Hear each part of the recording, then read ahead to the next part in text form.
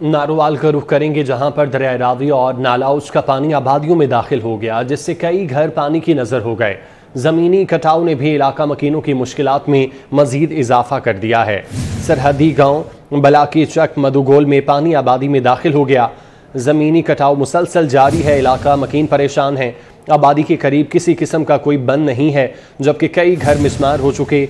सामान खुले आसमान के नीचे मौजूद है। सैकड़ों भैंस और गाय, जानवर पानी की नज़र हो गए। लोग अपनी मदद आप के तहत बचाने का सिलसिला जारी रखे हुए हैं।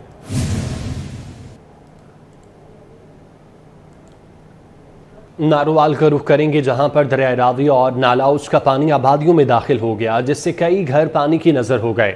ज़मीनी कटाव ने भी इलाका मकीनों की मुश्किल में मजीद इजाफा कर दिया है। सरहदी गाँव बलाकी चक मधुगोल में पानी आबादी में दाखिल हो गया। ज़मीनी कटाव मुसलसल जारी है, इलाका मकीन परेशान है। आबादी के करीब किसी किस्म का कोई बंद नहीं है, जबकि कई घर मिसमार हो चुके।